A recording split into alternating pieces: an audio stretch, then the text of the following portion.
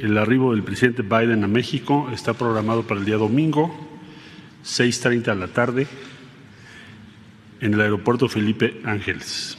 Recibe el señor presidente de la República, el licenciado Andrés Manuel López Obrador. Eso es por lo que hace el día domingo.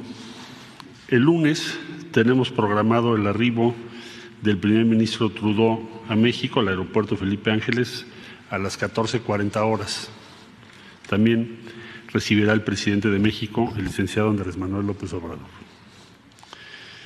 Estamos estimando para el día lunes 9 de enero el arribo y recepción del presidente Biden a Palacio Nacional a las 16.15 horas. Posteriormente habrá la foto oficial.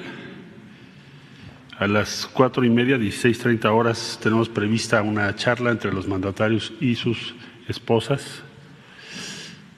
Y el, eh, a las 16.45 habrá un saludo, una conversación entre el presidente López Obrador y el presidente Biden para finalmente a las 5 de la tarde, 17 horas, la reunión bilateral México-Estados Unidos.